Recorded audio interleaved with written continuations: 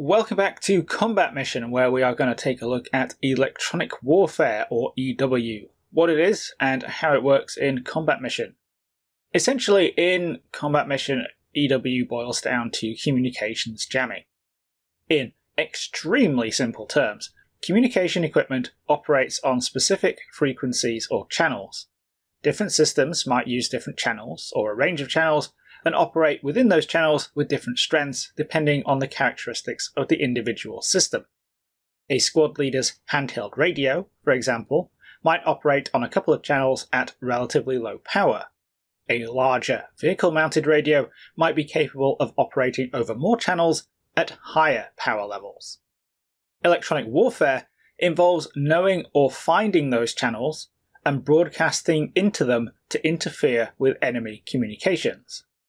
So if we wanted to conduct an EW attack targeting our squad leader's handheld radio, we find the channels that it uses and spam them with noise.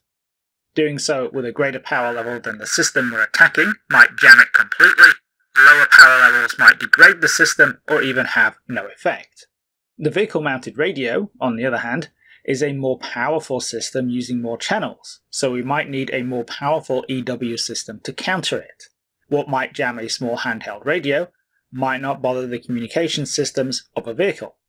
Obviously, electronic warfare is infinitely more complicated than this, but that's a good enough illustration for our purposes. In Combat Mission's modern titles, electronic warfare is represented as a strength level for each side. This is a little bit like the weather. It's a preset condition for each battle, and just like the weather, you can check it in-game using the Conditions tab. Each side's strength level, non, light, medium, or strong, indicates how badly the other side's communications are affected. Non is pretty self-explanatory, everything just works. Light electronic warfare degrades handheld radios and handheld satellite PDA communication links, as well as increasing UAV call-in times and degrading UAV spotting abilities. Medium completely shuts down handheld devices, both radios and PDA SATCOMs, and degrades man-packed and vehicle-mounted radios as well as satellite communication systems. UAV call-in times and spotting abilities are further degraded, with other off-map support call-in times for artillery and air support lengthened and precision artillery rendered non-functional. On top of this, on map surface to air missile systems start to be affected, and their ability to detect and engage air targets is reduced.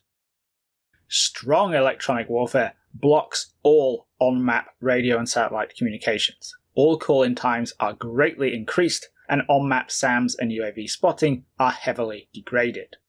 The level is set by the scenario designer in the data tab in the mission editor, but there's also an option in the quick battle setup screen. Two important points to note about EW in quick battles. First, it has a points cost. Each level of electronic warfare docks roughly 3% of your total points for force selection. So going into a fight with a strong electronic warfare level may give you a significant advantage, but it effectively means that your force will be 91% the strength of your opponent's. How meaningful that will be will obviously depend. Secondly, because EW state is a condition set before the battle starts, it's not going to be a surprise for your opponent. If you're not setting up the quick battle and you would like some EW, you're going to have to ask the person you're playing against. If you're the one setting up the battle, it's not very sporting to give yourself electronic warfare without giving your opponent the option, and a really good way to waste all the time you spent setting up the game in the first place. So that's the mechanics of how electronic warfare works in combat mission. We essentially have four key effects of varying levels. Communications degradation, decreased drone spotting effectiveness, decreased close air support and artillery responsiveness, and decreased surface-to-air missile effectiveness. The tactical implications of all of these should be pretty obvious. Although drones and especially aircraft are generally not that common in the modern combat mission games, artillery is a very significant asset for everyone, and being able to impose longer call-in times on the enemy is an incredible ability. Obviously, the effectiveness of delaying enemy artillery will depend greatly on who that enemy is. In Shock Force, for example, NATO call in times are generally pretty fast, and while increasing them could slow things down somewhat, it's not something a NATO player can't work around. The Syrians, on the other hand, already have long artillery call in times. It can already be quite difficult to use effectively. Extending those call in times further could potentially be crippling. The effects of degrading other communications, basically breaking up C2 chains, is harder to judge. The human player is essentially the pixeltruppen hive mind and can see the entire picture anyway, while the AI doesn't have the capability to process that kind of information and act accordingly. So degrading comms can increase spotting times.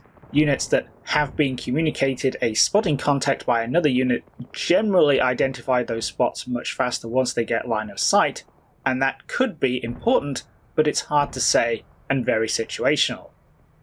Trying to work around the problem by decreasing dispersion and clumping units up to enable visual and verbal comms may or may not be worth it from a strictly combat mission effectiveness point of view.